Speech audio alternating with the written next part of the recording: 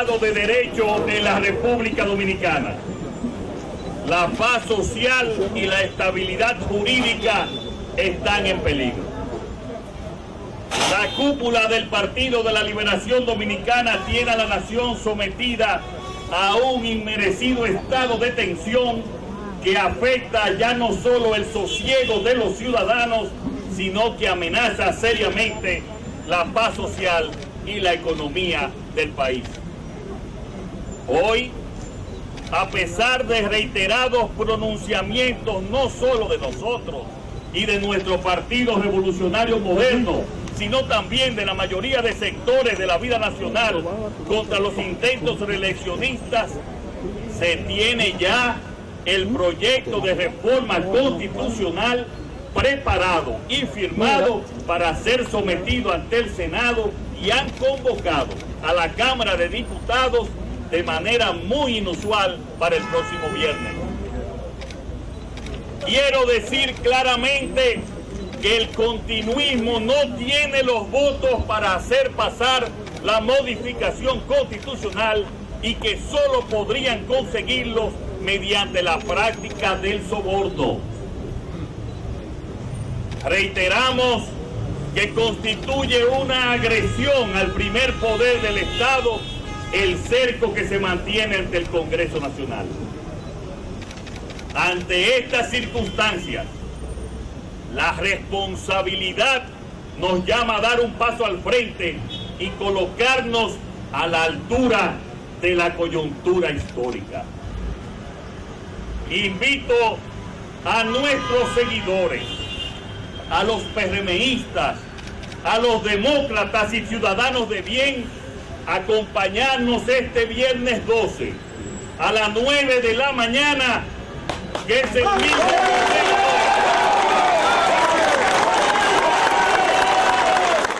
En la convocatoria que hizo ayer eh, uno de los precandidatos del PRM, Luis Abinader, a su militancia, a los seguidores suyos y en general todo el país, he visto gente que dice que no es seguidora suya y que irá eh, y que esto será mañana en el Congreso. Mañana será un día muy activo. He visto gente también que ha opinado contra, contra esto, dice que esa no era una atención del PRM, sino del PLD pero bueno, hay muchas visiones. Yo quisiera compartir de inmediato la visión que sobre ese y todo este asunto tenga el doctor Emanuel Esquia Guerrero. Muy buenos días y gracias por estar acá, doctor. Buenos días, Edith. Saludo a los amigos televidentes y, oyentes también, porque alguien lo oye, ¿verdad? Sí, me place estar aquí compartiendo contigo estas, estos acontecimientos Doctor, usted eh, vivió muchos, muchos años de vida política activa, llegando a ocupar importantes cargos. Usted fue consultor jurídico del Ejecutivo, usted eh, fue presidente del PRD, cuando el PRD tenía tensiones increíbles. Eh, le tocó muchos de esos momentos, casi de división. Digamos que es alguien que, que tiene en sí mismo buena parte de la historia reciente de este país. A la luz de todo eso, me gustaría que usted le contextualizara, sobre todo a los más jóvenes, cómo usted ve la situación en este momento, cómo usted ve de esa salud democrática de nuestro país y todo lo que está ocurriendo. Mira, yo he venido estando muy preocupado, aunque no estoy en ningún partido político, pero estoy muy consciente de la realidad del país y de los problemas del país. Y en la medida de las posibilidades he tratado de alguna forma de advertir o de participar en lo que pudieran ser soluciones. Yo formo parte de un movimiento que se llama Conciencia Nacional, donde un grupo de ancianos, yo diría, hemos eh, decidido desde la oposición tratar de hacer un papel para evitar que el continuismo eh, sea una realidad futura en el país. Y por eso nosotros entendemos que el PLD, el Partido de la Liberación Dominicana, eh, ya ha completado un ciclo eh, y debe de descontinuar en la dirección de la cosa pública.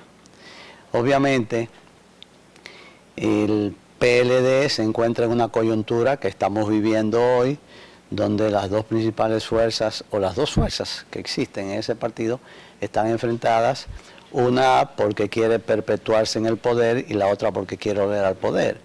Para mí no hay ninguna diferencia entre Danilo Medina y Leonel Fernández. No la hay. No hay diferencia entre los que quieren que Danilo permanezca y los que quieren que Leonel vuelva porque ambos son reeleccionistas, ambos hicieron muy mal gobierno, ambos eh, crearon en este país un sistema de corrupción generalizada, organizada desde el propio Palacio Nacional.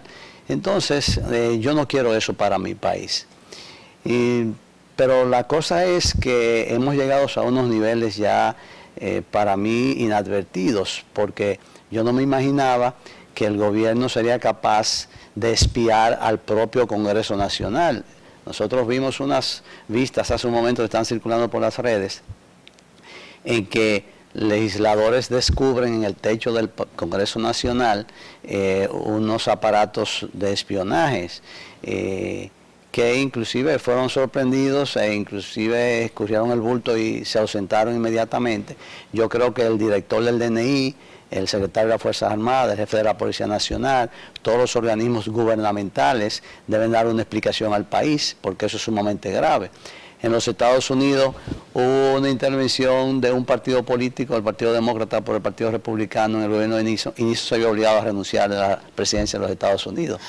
Aquí no pasa nada. Hay, hay dos aspectos de esto que me gustaría destacar con el doctor. Es que eh, hay, por un lado está, digamos, que esa gestión de los drones, que la policía se vio precisada a dar un informe.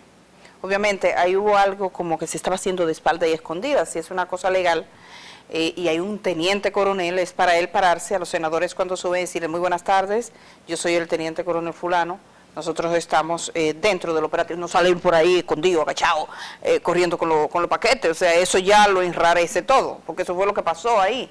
entonces el comentario de la policía de alguna manera eh, parece fuera de, sitio porque la policía dice, sí, son nuestros, pero entonces porque huyen. Eh, la otra cosa es, y digo huyen porque así que la gente no entiende, eh, la otra cosa es ese tweet, y, de hecho recibí posteriormente una fuente más que dice que ciertamente había un equipo de intervención telefónica, que son dos naturalezas distintas de la acción. Porque el dron, digamos que para el control del público que está ahí, eso no, si la policía lo asume, no hay ningún problema pero la intervención telefónica necesita la orden de un juez. Si están interviniendo las llamadas del Congreso, yo quisiera saber qué usted me dice, visto también ese aspecto, ¿no? Y no solamente las llamadas del Congreso, sino que son aparatos que auscultan cualquier conversación. O sea, todo lo que se comentaba en los baños del Congreso, o en cualquier pasillo, o en cualquier lugar del Congreso, estaba siendo oído, espionado por esos aparatos. Entonces, y eso es muy grave porque no solamente necesitaban la orden de un juez, sino también la orden del presidente del Senado y del presidente de la Cámara de Diputados. Entonces, eh, eh, eh, eso compromete la responsabilidad. Yo oí a Pared Pérez diciendo que él había solicitado para la protección del Congreso la redada policial que había en la calle. Bueno, eso puede tener explicación, nunca justificación, pero esto que se hace a escondidas, que se hace clandestinamente, es una labor eh, dolosa, censurable y que evidentemente no tenía la autorización de ningún juez ni de ninguna autoridad competente para eso. Esa es una labor de zapa porque se quería saber qué opinaban los legisladores, no solamente en la sala de sesiones, sino también en cualquiera de los, de, los cubículos y de los centros que hay de reuniones. Eh, doctor, esto no deja de ser un síntoma de la reelección. O sea, eh, yo creo que el mismo presidente de la República lo dijo alguna vez, lo que pasa cuando desde el poder se quiere que, la gente que le rodea pierde el sentido de, del límite, se traspasan los límites. Eh, estamos hablando del uso de recursos estatales en beneficio de un grupo de un mismo partido, es decir, están utilizando recursos que son del Estado, el presidente es el comandante en jefe de esos organismos, se utilizan en beneficio de una tendencia. Digamos, ¿qué pasa incluso cuando ya ni siquiera es del mismo partido, sino que son frente a otros partidos? Sitúan una posición desventajosa a los demás partidos. Me gustaría que usted nos hablara de eso. ¿Cómo ve usted el fenómeno de la reelección? Digamos, y la reelección histórica en este país eh, a lo largo de estos años, que es para eh, provocar que una persona se beneficie de un artículo, hacer una reforma solo para eso. Mira, eh, eso es parte de lo que llamamos nosotros el caudillismo en la República Dominicana. En alguna oportunidad recuerdo que en Boston di una conferencia sobre el caudillismo en la República Dominicana que recogí esta escrita, eh, donde se explicaba, yo trataba de explicar, eh, cómo operaba ese mecanismo. Y el caudillismo se ha podido perpetuar en la República Dominicana mediante lo que es la reelección. La reelección es eh, el procedimiento mediante el cual el presidente caudillo se perpetúa en el poder, pero eso supone toda una maquinaria de corrupción, de complicidad, de, de, permear todos los estamentos del Estado para que sirvan a los intereses del caudillo y a la perpetuación en el poder. El propio Danilo Medina en una oportunidad, cuando era candidato, dijo que la corrupción era uno de los males nacionales, que eh, se había que tragarse un tiburón y que él nunca permitiría eso, pero se ha desdicho porque es precisamente esa es la faceta que muestra el caudillo y el, el reeleccionista antes de y después se, se, se se convierte en lo que viene a ser un, enamorado del poder, un ambicioso del poder que es capaz de hacer cualquier cosa. Eso que está sucediendo en el Congreso Nacional, eso no es verdad que el presidente de la República no lo sabe. Aquí nadie es capaz de ir a espiar al Congreso Nacional sin que el presidente de la República, no el secretario de la Fuerza Armada, no el jefe de la policía, no el director, el presidente de la República, de la orden. Eso no lo hace nadie. ¿Usted cree? pero te hablo, yo pasé cuatro años al lado de un presidente. Yo te puedo decir lo que un presidente hace y lo que no hace.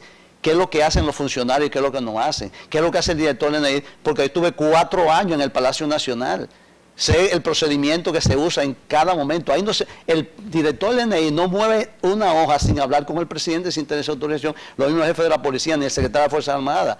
Porque ese es un control absoluto que tiene el presidente de todos los estamentos militares y civiles también. Estamos hablando de que el Poder Ejecutivo se inmiscuya en este momento en el legislativo. Claro, es que nada de lo que se ha hecho ahí es sin la autorización expresa de Danilo Medina. Danilo Medina está detrás de todo lo que está sucediendo aquí. Puede que está dirigiendo la campaña reeleccionista, está dirigiendo la ocupación del Congreso, está dirigiendo la compra de los legisladores. Porque, ¿y, a quién se le ocurre ofrecer dinero a un legislador? ¿De dónde lo va a sacar? Eso es una maquinaria, eso es un sistema instalado. Lo mismo que pasó con Odebrecht, eso fue una coyuntura en que se planificó todo un método de corrupción para lograr el otorgamiento de esa planta a esa empresa eh, connivencia de, de, estructuras inclusive gubernamentales del extranjero. De ese tema, como es un tema que está en la actualidad, quiero conversar con usted. Quiero recuperar, porque me gustaría algunos aspectos de lo que puede pasar ahora en ese proceso de reforma eh, y me voy a ir a la pausa. Yo le voy a poner un corte del presidente de la República. Lo subí a Diulca Pérez. La periodista Diulca Pérez del Grupo Corripio estuvo en ese momento en que el candidato, Medina, era, era candidato a la presidencia por primera vez. Y hay una pregunta muy oportuna porque sobre la reelección. De alguna manera se están dando ese, ese, ese modo de desandar los pasos que dicen los viejos volver sobre sus propias palabras. Esta pregunta que le formulaba a Diurca en ese, en ese encuentro con Medina es oportuna ahora para recordar, hoy es un día de TVT y regresamos de una vez. Noches, licenciado Danilo Medina. Entramos en contacto con voto 2012 RD y la gente ahí escribe. Vamos con Catherine de Frank que dice, Danilo Medina, de ganar las elecciones, ¿pensaría en una reelección tal como lo ha hecho Leonel Fernández? Bueno, ya la reelección está prohibida en la República Dominicana. Y es muy difícil que ningún presidente pueda conseguir los votos suficientes para modificar la Constitución. Pero en el caso concreto mío, aunque hubiese existido la posibilidad de reelegirme, no, lo haría. Yo pienso que, que, la reelección todavía este país no está preparado para recibirla.